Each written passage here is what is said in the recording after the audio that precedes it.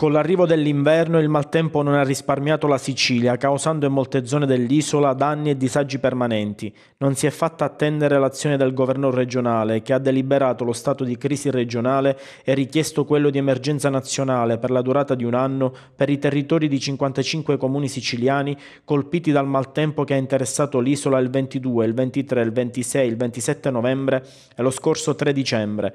Lo ha deciso la giunta presieduta dal governatore Renato Schifani su proposta proposta della Protezione Civile regionale.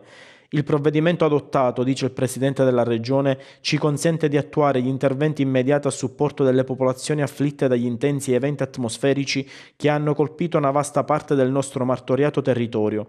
Al contempo chiediamo risorse e opere al Governo nazionale perché non possiamo essere lasciati soli a fronteggiare una situazione complessa che i cambiamenti climatici rendono sempre più pericolosa.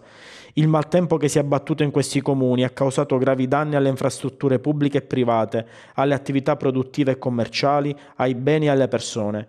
Per l'intensità e l'estensione dei fenomeni, la Protezione Civile ritiene che serve urgenza di intervento e poteri straordinari per un anno.